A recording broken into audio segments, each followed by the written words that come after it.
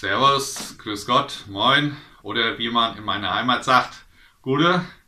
Herzlich willkommen auf unserem neuen Kanal, der Marinekalender.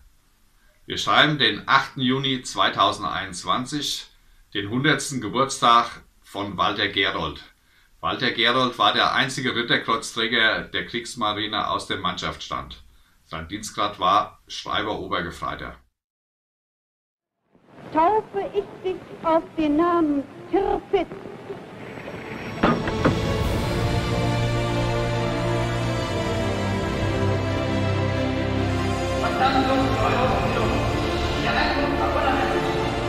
and avenge the sinking of HMS Hood.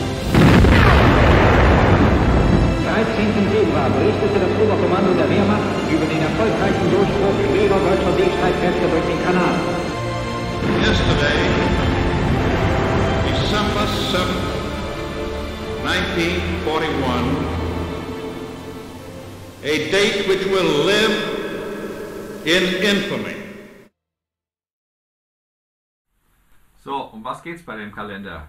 Ja, heute vor 100 Jahren, am 8. Juni 1921, wurde in Benolpe im Sauerland der Walter Gerold geboren. Wie gesagt, der einzige Ritterkreuzträger der Kriegsmarine aus dem Mannschaftsstand. Über ihn findet ihr etliches im Internet und in Büchern. Ich will aber das persönliche Erlebnis, was ich mit dem Mann hatte, vor über 25 Jahren, das will ich euch heute mal schildern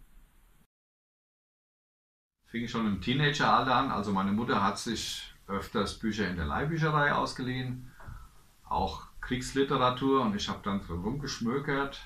Da habe ich in Jack Higgins, Der Adler ist gelandet. Da war ein Bericht drin vom Oberstleutnant Steiner, der war bei einer Bewährungseinheit und der wurde als Torpedoreiter eingesetzt, um feindliche Schiffe zu versenken. Und ich habe das gelesen und habe gedacht, das kann nicht sein. Das ist also dichterische Freiheit, Fantasie. Umso erstaunter war ich natürlich, als ich als 17-Jähriger das sehnlichst gewünschte Buch Clemens Wange, die Ritterkreuzträger der Kriegsmarine unter dem Weihnachtsbaum fand, habe ich drum geblättert. Wen finde ich? Schreiber Obergefreiter Walter Gerold, britischen Kreuzer im Kanal versenkt. Habe ich gesagt, das gibt's nicht. Also das, doch, die gab es tatsächlich, diese Männer. Ja, habe da so ein bisschen aus den Augen verloren. Jahre später, während dem Studium, habe ich mit einem Kommiliton drüber gesprochen. Da sagte er mir, in der Signal NS-Propagandazeitung aus dem Krieg fürs Ausland ist ein Bericht über diese Einzelkämpfer und diese Kleinkämpfer der Kriegsmarine drin. Und da stand auch was von dem Walter Gerold. Und da hat er, äh, stand von ihm ein Zitat. Ja, ich lese jetzt mal vor. Äh, ich freue mich, bewiesen zu haben, dass Federfuchse auch noch etwas anderes können, als nur Papierkrieg zu führen weil er ja Schreiber Obergefreiter war. Hat also die Laufbahn des Schreiber, des äh, links einge äh, eingeschlagen. So, und dann vor seinem ersten Einsatz in Italien vor Nettuno, da hat er also gedacht, da kommt er nicht mehr zurück lebend von dem Einsatz. Und bei dem entscheidenden Einsatz im Kanal, da hat er nur an seine Mutter gedacht. So, ich bin daraufhin in die Antiquariate und habe die durchstöbert nach Büchern über den Walter Gerold. Und dann hatte ich zufällig ganz unscheinbares, vergammeltes Buch Männer und Taten in der Hand. Und da ist von ihm ein Aufsatz drin über seine Ritterkreuztat. Feind ist menschlicher Torpedo von Walter Gerold. Das habe ich verschlungen und da stand für mich fest, den Mann musst du besuchen, um ihn die Hand zu schütteln. Ja, da kam mir der Zufall zu Hilfe, weil ich hatte ja seine Adresse gar nicht, wusste gar nicht, wo ich meinen Brief hinrichten sollte. Und da ist parallel ein Buch erschienen von Manfred Dörr, die Ritterkreuzträger der Überwasserstreitkräfte und da war auch ein Bericht über Walter Gerold drin, also da waren die offiziellen Dokumente abgebildet über seine Einsatzgebiete, über seine Beförderung, über äh, ja, seinen Dienstgrad, seine Beförderung, Auszeichnung. Und den Dörr habe ich angeschrieben und ihn gebeten, mir mal die Adresse von dem Gerold zu geben. Das hat er auch gemacht. Gleich danach ging ein Brief an den Walter Gerold raus. Antwort kam 14 Tage später, wir haben einen Termin vereinbart und dann bin ich mit meinem Auto losgefahren, um ihn in seiner westfälischen Heimat zu besuchen. So, und im April 1995 kam endlich der große Tag. Ich mich in mein Auto geworfen, zu ihm hingefahren und habe bei ihm an die Tür geklingelt und da macht so ein kleiner, drahtiger Anfang mit 70-Jährige auf mit dem sauerländischen Dialekt.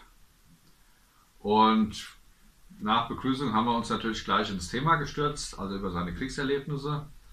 Und er hat viel über die Ausbildung gesprochen. Also die Ausbildung war richtig hart. Also es fing damals Ende 43, Anfang 44 in Heiligenhafen an. Er und seine Kameraden waren meistens Freiwillige. Und als allererstes mussten sie so einen Verpflichtungsschein unterschreiben.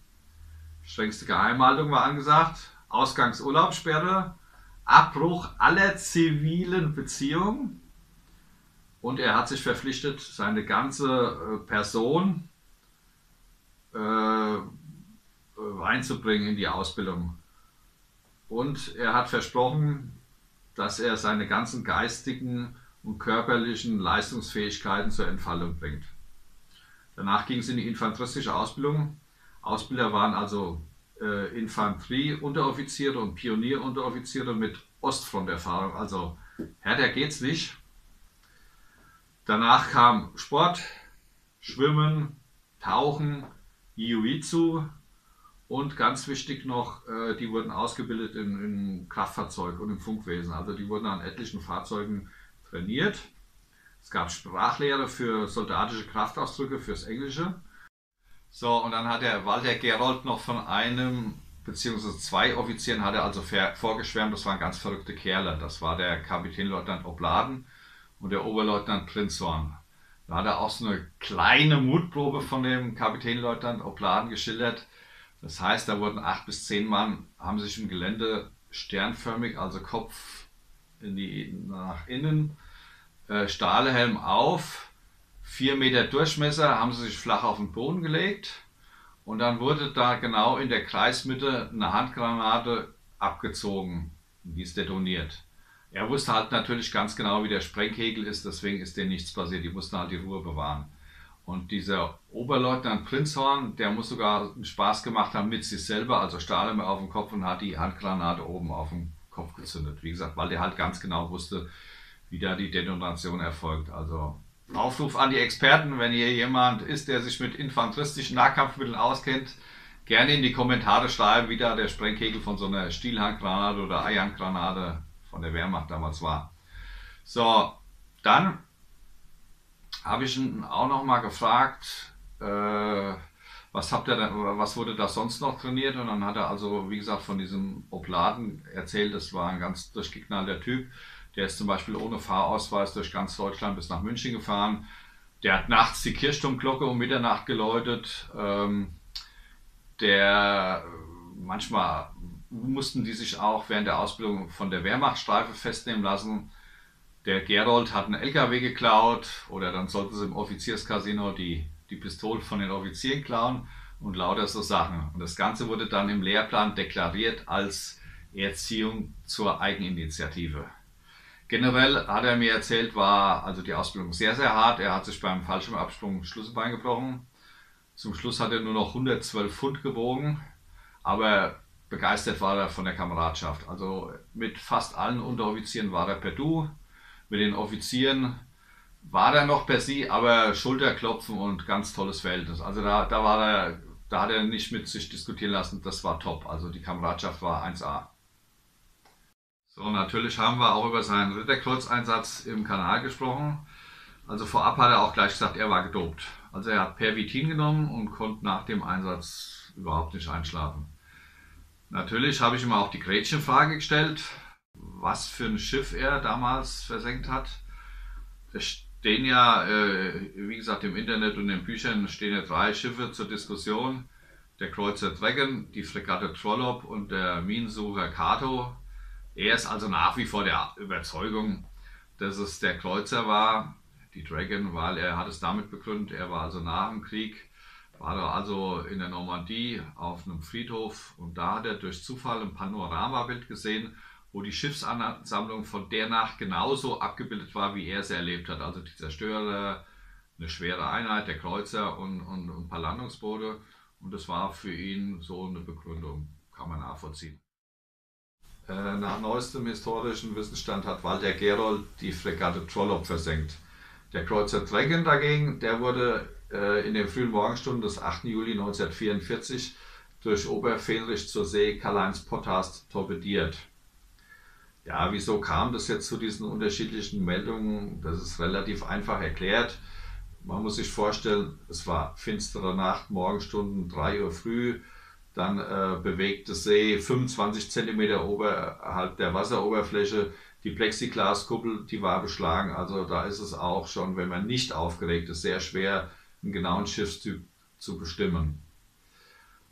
So, der Ritterkreuz-Experte Manfred Dörr, den habe ich auch zu der Thematik befragt und er hat auch ganz eindeutig gesagt, der Walter Gerold hat, auch wenn er den Kreuzer nicht versenkt hat, das Ritterkreuz auf alle Fälle verdient, weil es war ein lebensgefährlicher Einsatz und er hat ja auch schon den Einsatz vor Nettuno hinter sich gebracht und deswegen war das durchaus gerechtfertigt, dass er diese hohe Auszeichnung bekommen hat.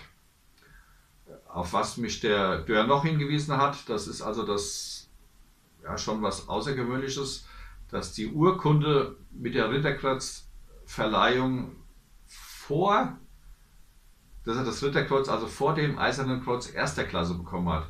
Normalerweise war Bedingung für die Verleihung des Ritterkreuzes, dass man das Eiserne Kreuz zweiter und erster Klasse haben musste.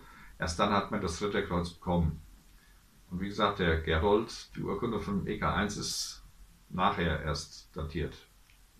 So, weiterhin wurde er natürlich als Held gefeiert, wurde im Wehrmachtsbericht genannt. In der Wochenschau wurde er gezeigt. Nachdem ich losgeschossen habe, gab es dann eine riesen Detonation mit Brocken, die flohen in der Gegend umher, auf das Wasser sind drauf geklatscht und dann sah ich auch schon, dass der Kreuzer mit dem Buch steil den Himmel ragte. Die Zerstörersicherung fing darauf an, Wasserbomben zu werfen, haben die See mit Scheinwerfern abgeleuchtet und mordsmäßig damit 2 cm in der Gegend umhergeschossen. Da hat er also einen Bericht abgegeben. In dem Zusammenhang hat, er, hat der Walter Gerold mir also eine Anekdote erzählt, um ihm halt so ein bisschen die Zunge zu lockern, um ihn ein bisschen entspannter zu machen, hat man ihn da abgefüllt. Ich denke mal mit Shampoos und mit Schnaps. Hat er mir also auch gesagt, er hatte also schon ein Sitzen gehabt oder ein Schwips, wie man so schön sagt. Hm, ja, dann hat er mir noch gesagt, wieso er diesen Ausschlag im Gesicht hatte. Das kam also durch dieses häufige Tragen der Gummimaske. Da kam es also Schmutz drunter und dann hat sich das entzündet. Nach dem Krieg war Walter Gerold im Polizeidienst tätig und er starb am 2. März 2013 in Lünen. So, das war unser erstes Video. Ich hoffe, es hat euch gefallen.